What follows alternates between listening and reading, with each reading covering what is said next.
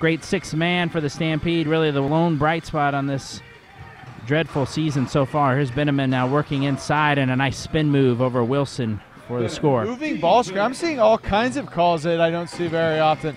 I bet a three seconds in the key is coming up next. I'm excited. Well, there, get a three second, get a legal defense, get it all. Moving guys, keeping the spacing of the team. We've had a couple good possessions. Have gone all the way down to 24 seconds, where they've gotten a good possession at the end.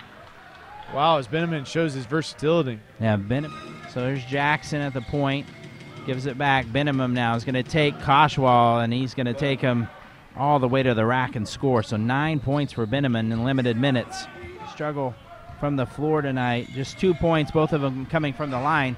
Jama shot 11 free throws to the Stampedes two, and Benjamin five for five to start this thing. Now has 11. Low on the block. Benjamin against Wilson. This is a pretty good matchup here, and Wilson's going to get blocked by Benjamin. Benjamin quick outlet. The top really impressive. Well, Jackson's an affiliated player of the Suns, and Ennis is on assignment from the Suns as Benjamin gets down low and scores with the right hand. Here's Benjamin now being guarded by Wilson, tries to put him in the washing machine, and he works hard and he finishes. I mean, that's just such beautiful footwork, footwork around the rim. I mean, the ability to do the drop step. Seven point jam lead. Here's Jackson.